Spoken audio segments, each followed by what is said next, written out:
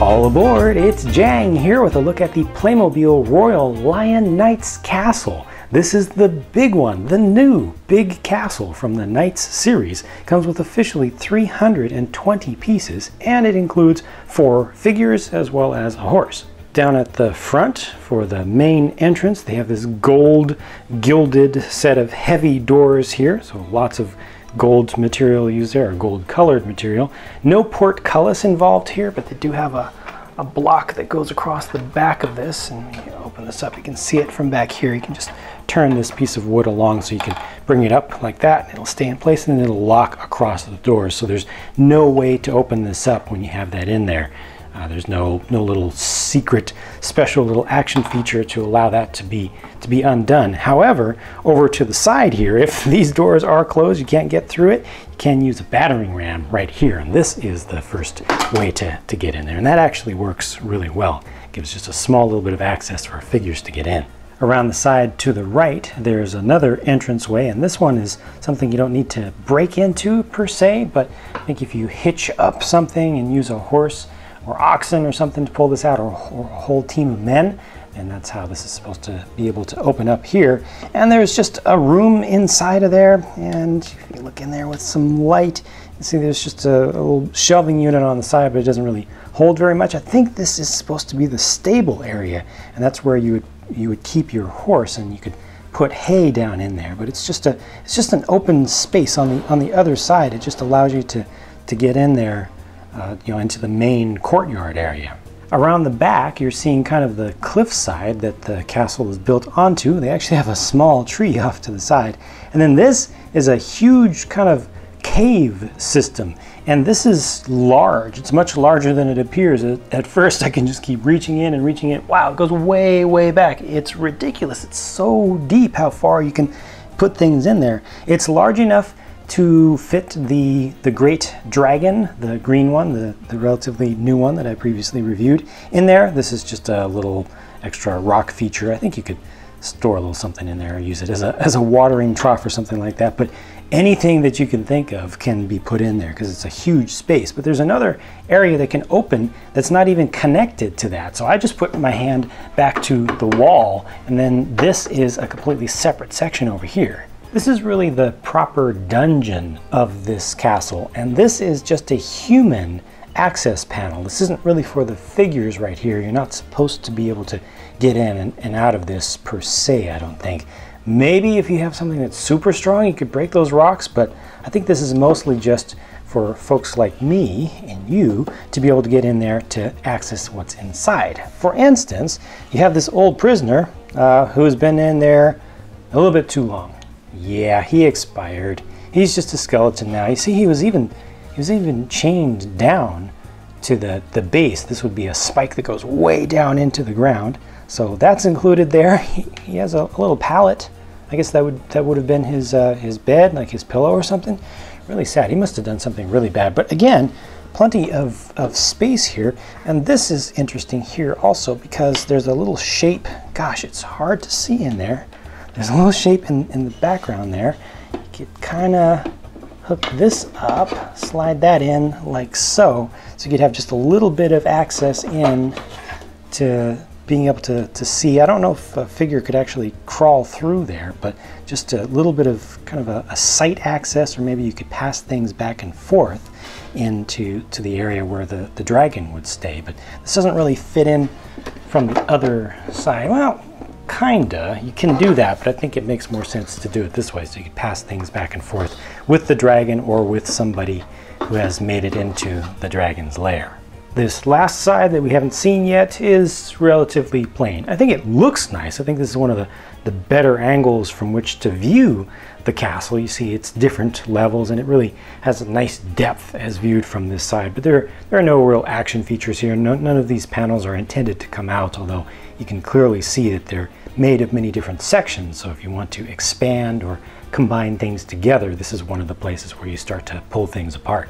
From higher up then, you can see the shape of the courtyard. And you can see just how much of the inner space is taken up by some of that cliffside there. And there is another kind of dungeon-like space, but this is just small because that that rock base is just huge. You have the area that we where we saw the, the skeleton in there, which has plenty of room, that's behind here. There's the dragon space, which is back in that corner there. And then there's another space right here, which you can just kind of define as, you know, just imagine its floor space is just beneath this little section here. And this is a little trap door, so somebody can actually get trapped and you know fall down into there and it has a little locking gate on the, the front of it. And this space right here also has uh, it's kind of a walkway. You can see how this is a walkway path. It's steps.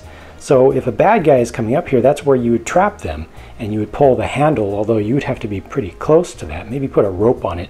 That might work out a little bit better, but there is a secondary little uh, kind of trapping sort of section here, or safety section with this drawbridge. It's a cantilevered drawbridge. And on the other side, there's a rope here that you can pull on, or you can completely let that go. It has a couple of little hand holds for your figures to hold on to, so one can actually grab that and pull it up. And you see how by default, everything would be like this. So this would be up, and it's like, yeah, you just come on in. You know, it's all it's all good. You know, nobody's nobody's invading. You can just walk back and forth. It's perfectly fine. But when invaders start to come, the first thing that you do is you start to drop some of them down in there, and if they're walking around, then you definitely need to do like that to save more of the inner space.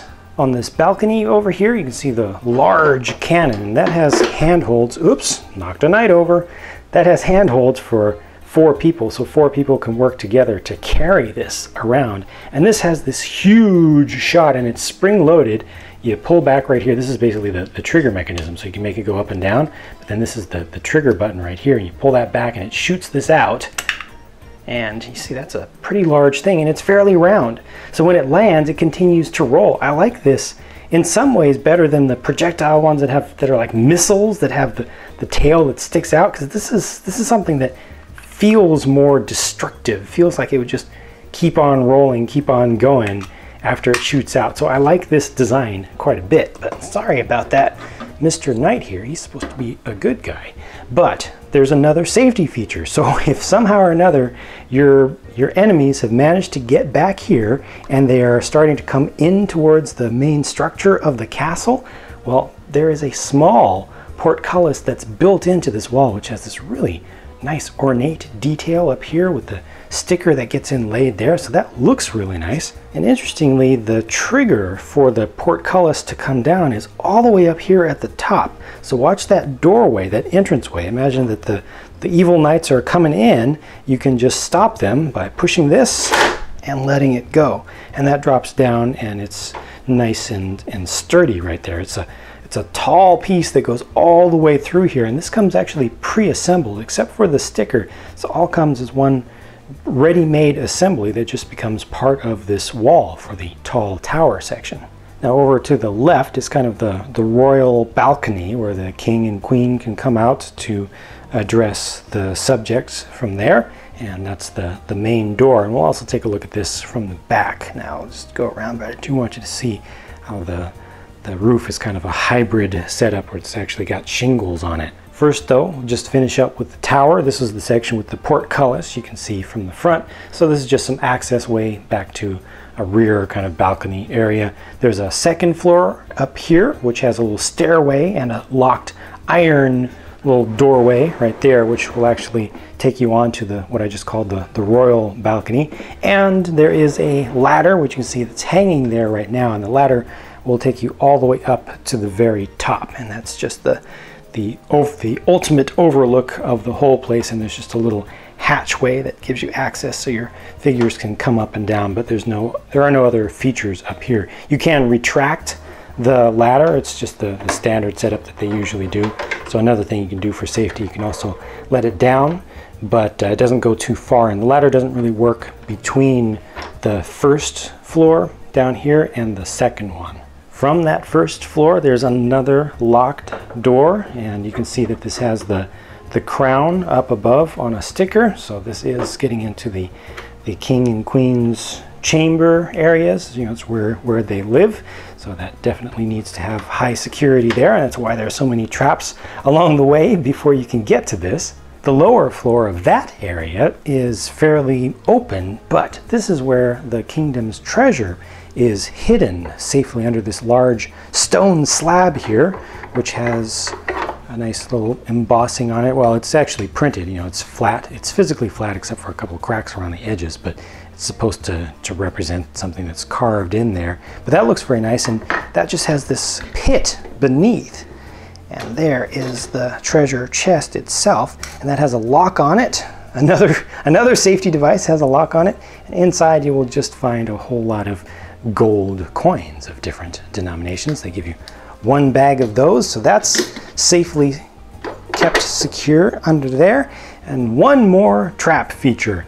This over here is a little grate that can be opened up and you can throw somebody down in there and that will throw them down into the, the proper dungeon area where we saw the skeleton before.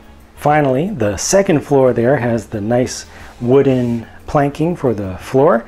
That is actually supposed to be the, the king's throne. And then there's a spot over here, it's a, it's a table or a desk for, for writing on or writing at. And it has a quill in there. And this is an interesting thing that when I first, I first started looking at it and I was reading it and I was trying to figure out what language it was, I'm like, it's like German, but it's it's older, and indeed, it is an older form of German. And this is a slightly modified excerpt of the, the beginning of, of a, a famous set of, of tales, of old tales of a, a dragon slayer. You know, it's just a whole hero heroism thing, and this is just the beginning, so it's it's kind of vague in what it actually says. But if you actually type that in and actually search it up, you will you will find the full text and the history of it. Here are the four figures included with the set: the king, the queen, a knight, and a longbowsman, an archer with a longbow. The king has his special sword at his side with a different colored hilt to it. He's also got his scepter, royal scepter, in his hand there. That's two pieces you put together. The queen has very ornate robes on. She also has a little bit of a kind of a, a belt tie going around the front of her. The knight here, the, the major main knight, is uh, very, very golden. And he's got the little bit of a cape on the back. He's got the, the royal lion emblem up on top. And you can also, of course, open up the front so you can see his face. It's just a plain, regular, normal, standard face. That's cool. He's got a sword there as well, and the shield, which can be uh, mounted different ways. It's got the little rotating handle on the back. The, the archer has his quill at his side, and he's got a really nice uh, little, uh, I don't know what the proper term is for this that, that archers have. It's a, it's a very specific thing that gives them a little extra protection and, and support. Looking at these from the back and see how that piece goes around. You see the, the cape for the knight, which is actually a removable piece, and just the rest of the details from the back. Set also includes one horse, which a knight can ride, and there's no real armor on this horse, so it's fairly fairly straightforward and, and plain. They also include a couple of small little rats that you can just distribute about the grounds however you like, just to add a little extra life and flavor to the scene. The set also includes a large weapons rack with lots of weapons. As a matter of fact, there's everything that you see here, plus there's also an extra sword included in the set, and there's also an extra shield included in the set only one that's able to be held horizontally though. So all that stuff is just extra. And turn this around, maybe you can see a little bit better how some of these things are individual. So a couple of flails up above also, a couple of halberds, a couple more swords there. I don't know the term, the name for these silver long uh, pole weapons there. But there's also that shield on the front, which is currently helping to hold everything in place, but you can remove that and use it with a figure. I mentioned expanding things and adding things on to the castle. Well, this is just one example they show on the back of the instruction sheet showing the combination of the Hawk Knight's castle with this one, and it also includes uh, one other supplemental set that's included here that has one small uh, uh, extension, gives you a, a wall extension but this Royal Lion Knight's castle just by itself is extensive. There's a lot going on with it. It doesn't have a whole lot of small little things to, to put in different places. You know, if you really want to kind of furnish it out. That still needs to be done with separate add-on sets. I do appreciate the weapons rack and you know how many extra weapons are included with it. The figures are good and there's a decent number of them. Of course, you can always want to, to add more, but that's what the, the extra supplemental figure packs are for.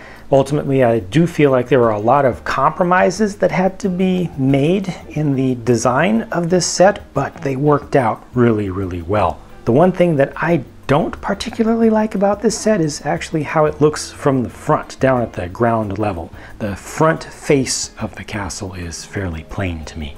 Let me know what you think about this castle on the whole and about its individual features. Please leave your feedback in a comment on the video. It's always appreciated. Thank you for taking the time to watch this video and I hope I showed you everything that you wanted to see about this set. I will be talking to you again very soon because more videos are on the way.